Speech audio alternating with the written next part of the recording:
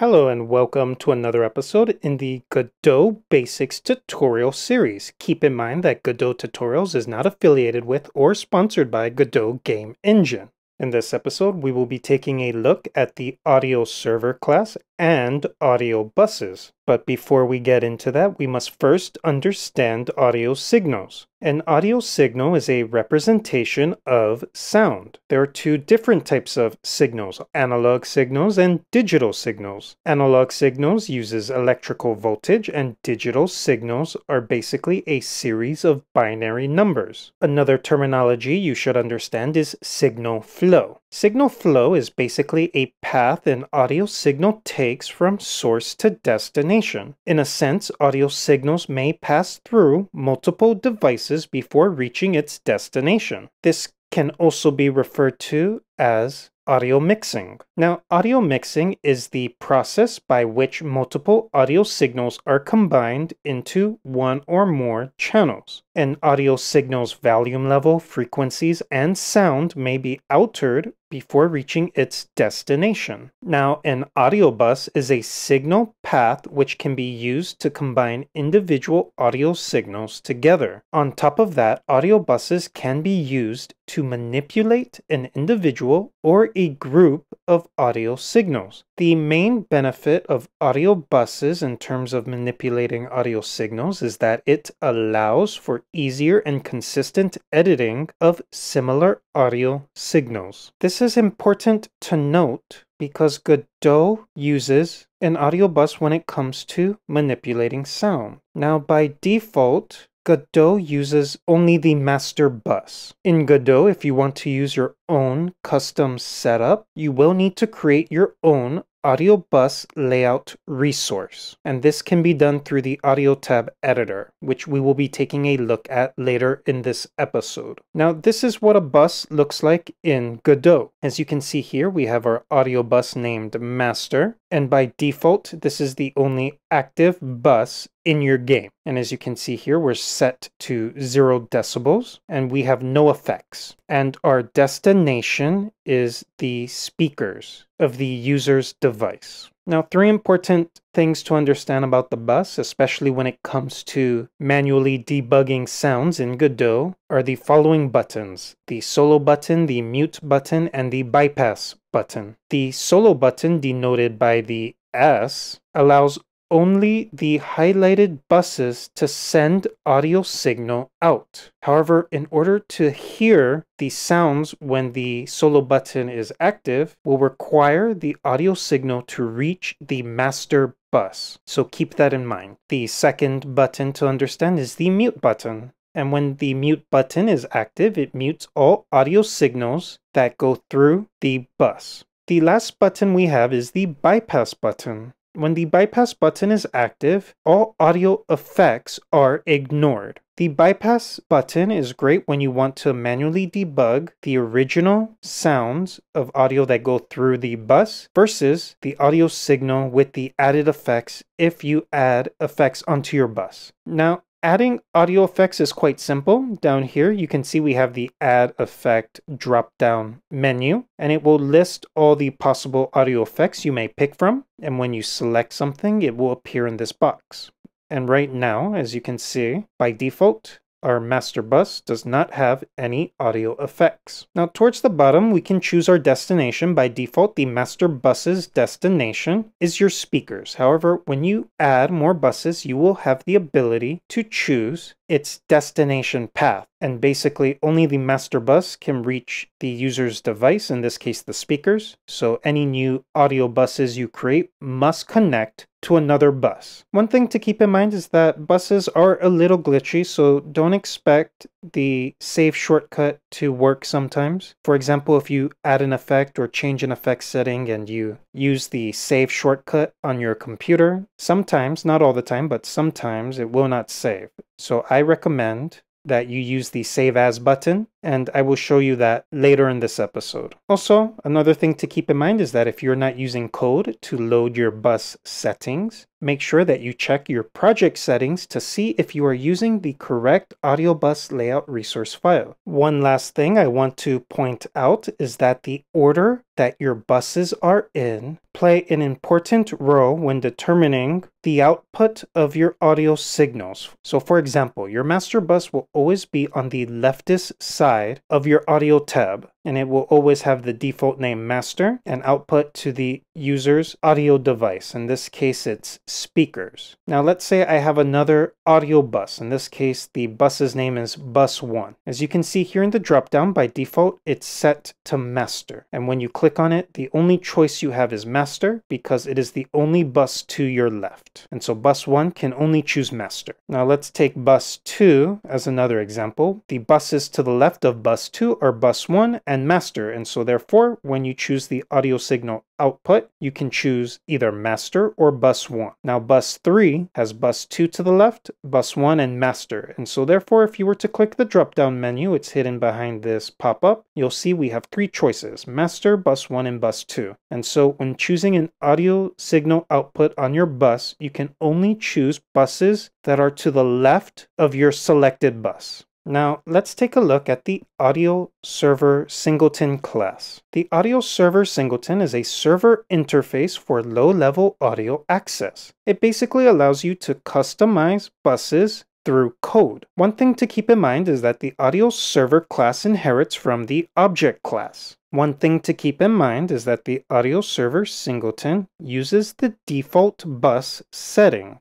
unless otherwise specified. Now to change your audio bus setting, you have the set bus layout method provided to you by the audio server singleton. It takes in one argument, which is the audio bus layout data type. And that is just basically your audio bus layout resource file. And we'll take a look at that in code later in this episode. Now keep in mind that customized bus settings will not work unless manually added. And that's because the audio server singleton by default uses whatever is set in your project setting. And what is set in your project setting is the default file. You're given two useful methods. The first is you can manually add a bus through the add bus method. It takes in an optional argument. Basically, you are appending to an array. And the second method is the add bus effect method. It takes in two mandatory arguments, the third being optional. The first argument must be a bus index, and the second argument must be an audio effect data type. There are a lot of other methods that the audio server singleton provides you, but in this episode we will just focus on these three. And I will provide you a link to the Godot engine documentation if you would like to dig more into the audio server singleton.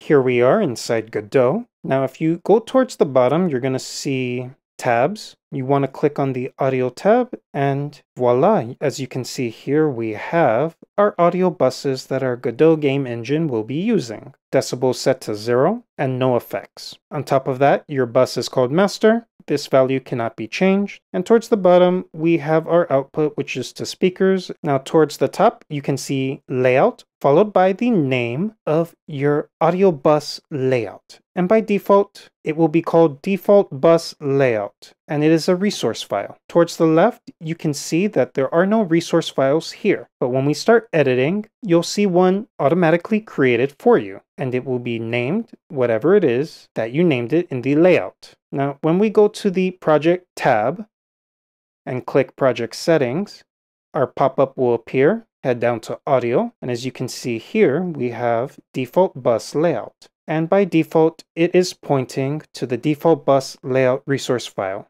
Now over here, we have other options. We can add a bus, load, save as, load our default, and create. In this case, let's go ahead and add a bus. Now, as we created our new bus, notice here on our File Systems tab that an audio bus layout resource file was automatically created for us. Now, let me show you a problem that may happen, especially if you're starting out. Now, let's say you delete this file and you go ahead and press remove.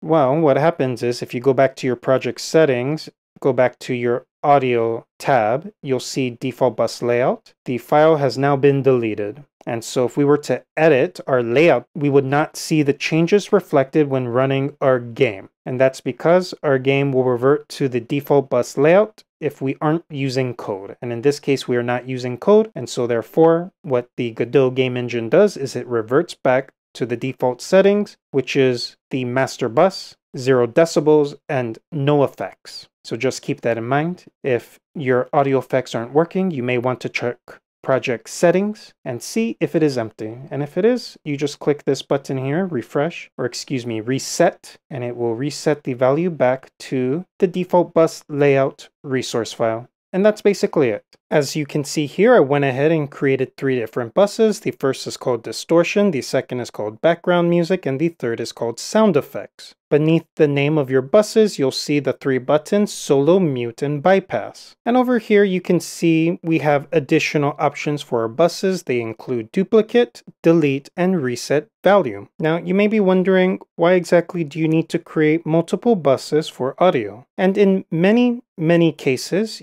you probably don't want to or don't even need to create additional buses outside the default layout. However, if your game comes with more audio, you may want to look into creating additional buses for different audio signals you have in your game. For example, you may have multiple background music for your game and multiple sound effects. And perhaps you would like your background music to be really, really loud and your sound effects to be really, really soft. So that way different sounds don't clash, or vice versa. You may want your background music to be a little light on the ears, and your sound effects to stand out more compared to the other noises or audio in your game. On top of that, there may be times where you'd like to add effects onto different audio signals, and that's why we have this bus called distortion, because at some point in our game, we would like to distort the noises of our audio. Perhaps it's just a special level the player has to go through. Moving on, I'm going to add an effect on distortion with the distortion button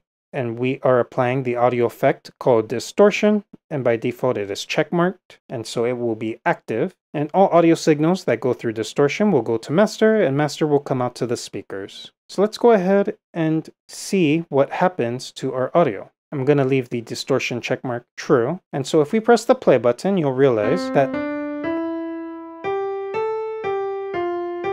the music didn't distort. And that's because over here in our audio stream node, if we come to the right in our inspector tab, you'll see here in the bus setting that we're routed to master. And so our audio will not change in sound. We need to route it to one of the two buses that route into distortion in order to apply our distortion effect. And so I'm going to come here. I'm going to pick background music. Now, I can go ahead and press the play button up here, but I'm not going to. I'm going to press the check mark button down here next to playing. And that allows us to play our music without having to enter the scene through the play button.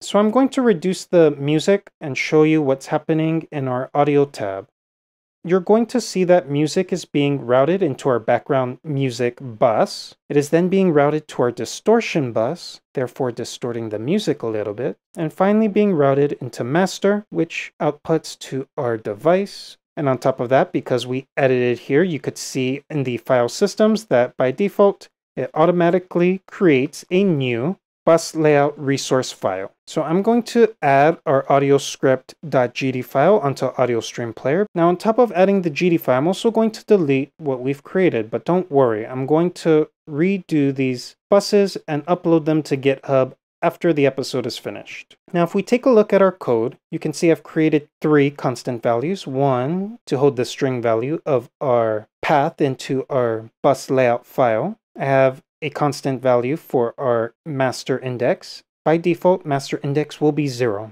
On top of that, I have a constant value for the bus name. In this case, it will be master. So as you can see here in our ready virtual method, we use the audio server singleton. And just keep in mind that when we have singletons, we do not need to load it into a variable using the new method. And on top of that, we're using the set bus layout method and we are loading our bus layout, which is the default bus layout resource file. Now again, index 0 is for master, and so in this case, if we want to add effects, such as chorus and distortion. We must pass in two arguments. The first is the bus in which we want to add an effect to. And because we want to add the effect to the master bus, that will be the zero value. And then the second argument is your audio effect. In this case, we are going to use the audio effect chorus. Don't forget the dot .new because that is a class and therefore needs to be instantiated. And we're also adding another effect, in this case our distortion. And lastly, I have print statements so you can see in the console the value of our master, how many buses we have, and on top of that, how many bus effects are on masters. Well, that's all I have for you in this episode. Thank you so much for joining me. Thank you for clicking the like button and thank you for clicking the subscribe button. I'm going to upload the example in this episode onto GitHub, so please feel free to download that and play around with audio buses and audio effects, either manually or through the audio tab. I look forward to seeing you in the next episode. Have an amazing day.